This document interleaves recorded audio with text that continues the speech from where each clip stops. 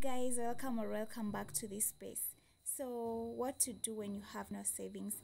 Number one know where you stand calculate your net worth and so that it can be able to uh, direct you uh, through this by this you're able to make a to map out a plan and it's going to direct you. Then number two uh, assess your lifestyle know what to downsize and what to cut back then number three you have to set clear goals for you to be to know the direction that you need to take to take along then number the next number is set clear goals.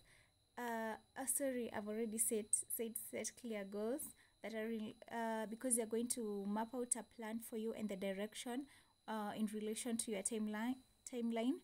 And then the next point is that you need to have a clear budget with a budget you're able to know to tell your money where to go because without a budget you'll find yourself never saving even a penny. You can use the 50 30 20 percent uh, budgeting plan.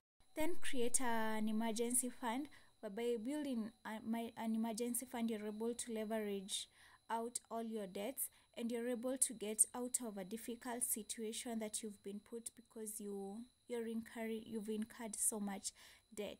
Then plan on how to settle down your debt because debts are always compounding. You'll find that your balance will continue summing up and growing so so much. So you need to prioritize and plan and develop strategies that are going to lead you towards freeing yourself up from incurring more debt and learn that it's okay to start small. Habit and consistent consistency it's key.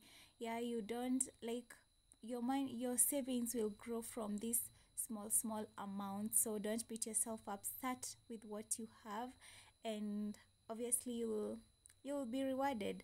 Of uh to the effort that you've put into building up this savings. So i hope this video will be helpful to you. See you in the next one. Bye guys